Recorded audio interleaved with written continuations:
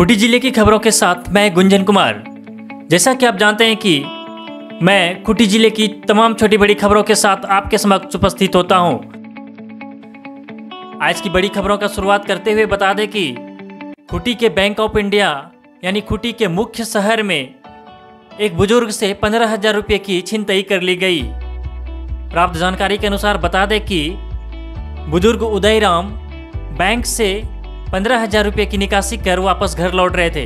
तभी अज्ञात बदमाशों ने उनसे कुछ बातचीत में उन्हें उलझाकर जबरन उनके पॉकेट में हाथ डालकर पैसे निकाल लिए। इससे पहले मैं आपको एक बड़ी जानकारी और दे दूँ कि आज से लगभग एक सप्ताह पूर्व एक निजी अखबार के संपादक की पत्नी से अज्ञात ठग ने लगभग पाँच लाख रुपये की गहना की ठगी कर ली, जिसकी जाँच पुलिस द्वारा जारी है। और इस पूरे मामले पर अगर बात करें तो खूटी में ठग का गिरोह सक्रिय है। इस विषय पर विशेष ध्यान देने की ज़रूरत है। बता दें कि बुज़ुर्ग उदयराम, जो खूटी के खूटी टोली निवासी है, उन्होंने हमसे बातचीत के क्रम में क्या कुछ कहा, घटनाक्रम में कैसे क्या कुछ बताया, वो मैं सीधे उनकी बातों को ही आपसे सुन, आपको सुनवाता हूँ।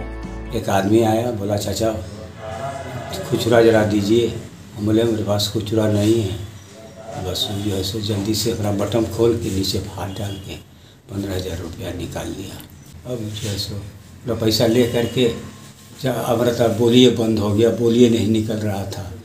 इसके बाद जो है सो वो अपने टेंपू पर चढ़ा और भाग गया ऊपर चौक की तरफ़ कितने बजे का घटना है?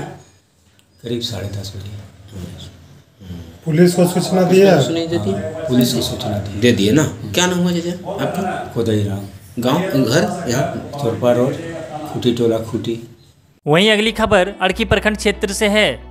जहाँ अड़की प्रखंड क्षेत्र के स्वास्थ्य उपकेंद्र पर स्वास्थ्य विभाग के द्वारा बड़ी लापरवाही देखने को मिली है। स्वास्थ्य उपकेंद्र पर एक डिलीवरी पेशेंट को भर्ती कराया गया था, जहाँ प्रसव होने के बाद डॉक्टरों ने उन्हें तीन से चार घंटे के अंदर ही छुट्टी देकर घर भेज दिया, जहाँ घर पहुँचने के बाद महिला की स्थिति बिगड़ने लगी।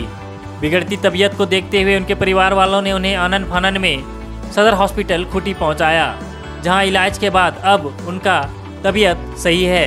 वहीं इस बात पर देखना यह है कि स्वास्थ्य विभाग की इस लापरवाही पर आगे क्या कार्रवाई होती है।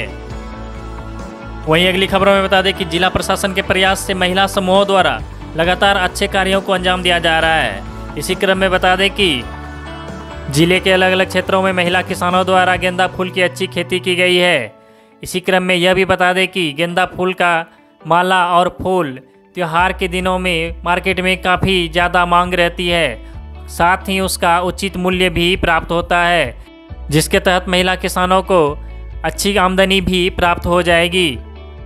वहीं अगली खबरों में बता दें कि समाहरणालय के सभागार में खूंटी ज़िले के सभी बैंक प्रबंधकों के साथ एक विशेष बैठक का आयोजन किया गया, जिसमें उपायुक्त ने बैंक प्रबंधक को निर्देश दिया कि ज़िले के सभी योग्य किसानों को केसीसी के तहत ऋण उपलब्ध कराया जाए।